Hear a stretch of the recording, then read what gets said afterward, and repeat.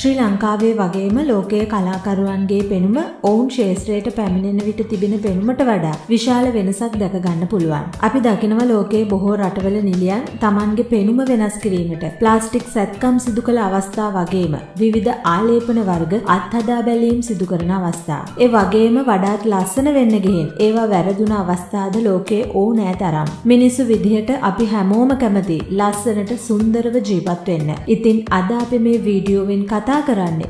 ලංකාවේද බොහෝ නිලියන් කලා ශේෂත්‍රයට පැමිණිලා ටික කාලෙකින් ඔවුන්ගේ පෙනුම විශාල ලෙස පැහැපත් කරගෙන තියෙනවා ඔබට නිතරම දකින්න පුළුවන්. ඉතින් අපි මේ කතා කරන්නේ විවිධ ආලේපන වර්ග අත්හදා බලමින් Tamanගේ පැහැය දීප්තිමත් කරගන්න උත්සාහ කරපු නිලියන් කිහිප දෙනෙක් ගැන. එයාලගේ ඉස්සර පෙනුමයි දැන් පෙනුමයි බැලුවොත් ඔබට වැටහෙවි සිදුවලා තියෙන වෙනස කෙතරම්ද කියලා.